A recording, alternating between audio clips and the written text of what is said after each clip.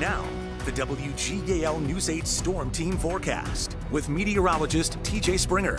The gray and damp conditions holding to kick off our work week. At the live glance in the city of Lebanon. We can see that somewhat eerie view. It's kind of fitting as All Hallows Eve is tomorrow, right? It's kind of exciting. It feels a lot cooler than how our weekend began with temperatures in the 80s, record breaking temps.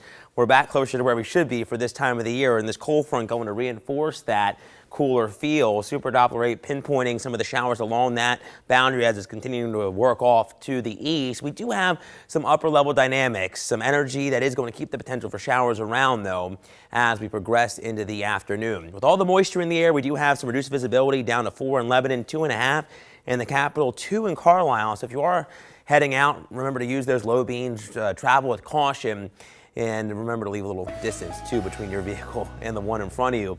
A News 8, a News 8 Storm Team forecast shapes up like this. A little wet as the rain starts to taper to showers through the latter half of our day. We'll have temperatures right around 60, not climbing much from where they are right now. But as we tap into some cooler and drier air, we'll see the clouds diminishing, and that will lead to the potential, at least, for frost. And that's why we have this impact night underway with temperatures falling back into the middle 30s to around 40. Could have some outlying areas closer to freezing. Then tomorrow, chillier with that north to northwesterly breeze, 50 to 54 under plenty of sunshine as high pressure at the surface briefly takes over the valley. We have 54 degrees in Selinsgrove, 70 though in Gettysburg, a big difference out of that front. It's a lot warmer across northern Maryland.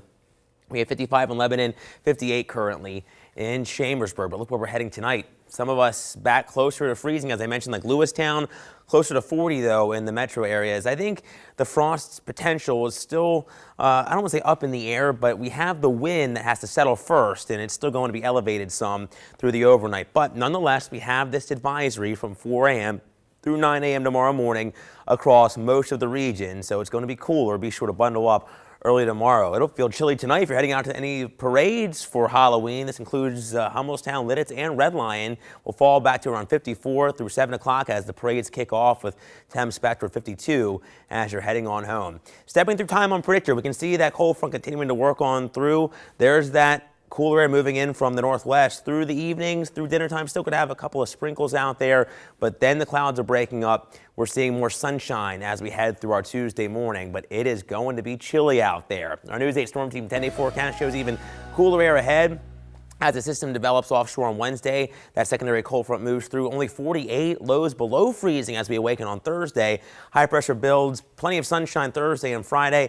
Temps start to rebound too. We're back into the 60s this weekend. Remember to fall back and we have some more rain chance ahead too Sunday and again early the following week.